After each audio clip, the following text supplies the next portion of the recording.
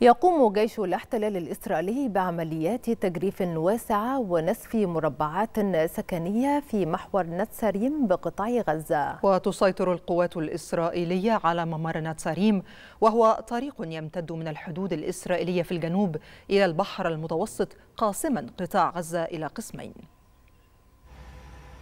عمليات تجريف واسعة ونسف مربعات سكنية في محور نتساريم بقطاع غزة قابلها قصف تجمعات لجيش الاحتلال في المحور برشقات صاروخية وعمليات تكتيكية لردع قوات الاحتلال. القوات الإسرائيلية تسيطر على ممر نتساريم وهو طريق يمتد من الحدود الإسرائيلية في الجنوب إلى البحر المتوسط قاسما قطاع غزة إلى قسمين. وفق مصادر إسرائيلية فإن جيش الاحتلال يستولي على المباني المدنية حول الممر ودمر ما لا يقل عن 750 مبنى فيما يبدو أنه جهد منهجي لإنشاء منطقة عازلة على جانبي الطريق وفق استراتيجية يؤكد خبراء عسكريون ومحللون أنها جزء من مشروع واسع النطاق لتوسيع وترسيخ الوجود العسكري فيه وقد جعلت حماس من الانسحاب الإسرائيلي من المنطقة مطلبا رئيسيا في مفاوضات وقف إطلاق النار.